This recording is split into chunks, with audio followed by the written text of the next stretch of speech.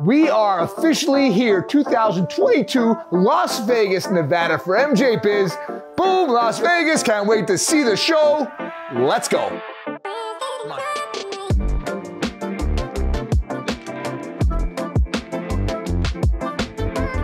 There's nothing more that I like than new innovative tech. And with a dear friend of mine, Jay from Twister Trimmer, aka Kierton, and he's got a really unique product which I really like. Uh, I haven't seen anything like this in the market. You know, people do a whole bunch of different curing things, but this is actually a puck designed for curing, which is, is a pretty intelligent little product.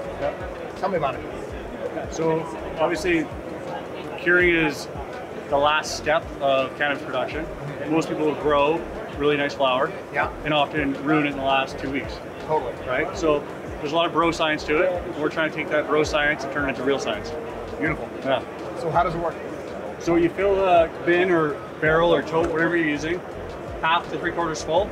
The device will measure the gases inside. Mm-hmm. It'll measure the relative humidity inside. Yeah. And then as those gases rise, the relative humidity rises, it will pump the air out, the gases and bad air out. Okay. And then as it does that, it will also send that data to an app and let you know what's happening. So for instance, if you load flower here that's too wet, Yeah. it'll try and pump that moisture down. If it can't get it down, it'll alert you, hey, come come empty this out or open the lid up.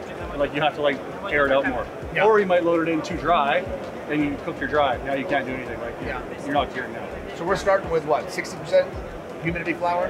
60, First, 63? first I start with 63. Okay. So I'll load it at 63 and I'll bring it down to 60.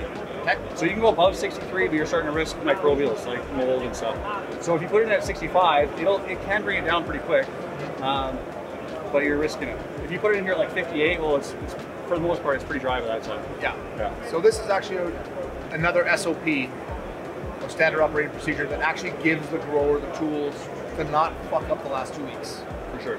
Yeah. I Yeah. like it. Yeah. So you put it on any tote like this here. We have a, a, a roller, so you, you load it in crap barrels. Like this is my preference. Yeah. because it's sealed. These don't seal obviously, Yeah. but it'll still push the air out. This will seal, we have a, it'll roll it side to side once, twice a day, whatever you want. I don't usually fluff this stuff up, so mine will come out like a big brick, like, like a wedding cake. Yeah. But some people like fluffing it, so that'll this will fluff it. I like this better. I like the ability to actually roll the product very, very lightly. Right. You're not damaging, you're not getting a whole bunch of terps off, Yeah. uh, or trichomes falling off the actual plant. But uh, I mean, it's battery powered, so if the power goes out, it'll still burp. So like, say a weekend comes around, your power goes out, it'll still burp over the weekend. super cool. How's the uh, response been to this? Huge. Yeah. That's been really good.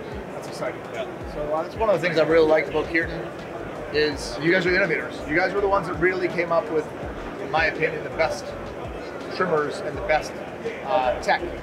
You've even done it something in respect to AI, being able to identify powdery mildews or microbials on the plant, and actually you're removing Sorting and grading. sorting and grading, which is you know these are all very important tools that growers need to uh, assist in bringing better product to a uh, To level up, really. Yeah. really is. Yeah, yeah. So you got the last you got the last part of the uh, chain completed. I like that. Thank you. I'm excited. Where can people find out more about the product? twistertech.io. Okay. Yeah, and look for the curing puck on there. Super cool. Yeah.